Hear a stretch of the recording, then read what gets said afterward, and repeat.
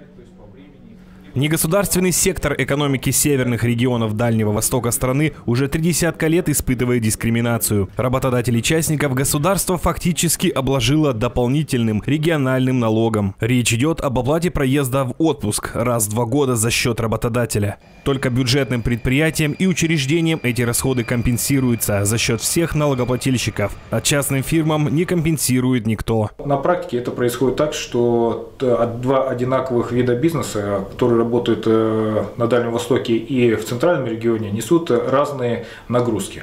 А мы здесь на Дальнем Востоке живем, работаем, и мы и так-то в экстремальных условиях здесь существуем. И плюс еще вот э, данная мера. Вот, потому что, в принципе, правильно.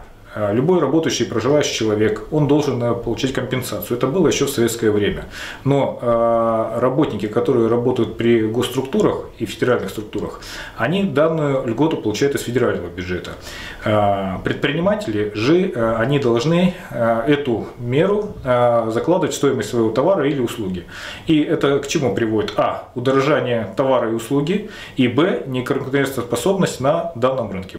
По мнению предпринимателей строительной отрасли, местные компании, работающие на строящихся сейчас в Магадане объектах, испытывают негативное влияние этих факторов в конкуренции с приезжими фирмами. Но так быть не должно, уверены в деловой России. Также э, стоит вопрос в длительном отпуске для э, членов э, предприятий, работающих в условиях Крайнего Севера. Соответственно, 52 дня э, ну, для любого предприятия, когда квалифицированный специалист отсутствует такое время, ему необходимо дополнительно нанимать персонал, что также в свое время накладывает еще дополнительные расходы. Исходя из всего этого, предприниматель, который работает в условиях крайнего севера, он не конкурентно способен э, по отношению его, как говорится, коллеги, э, коллегам, которые э, не работают в условиях крайнего севера.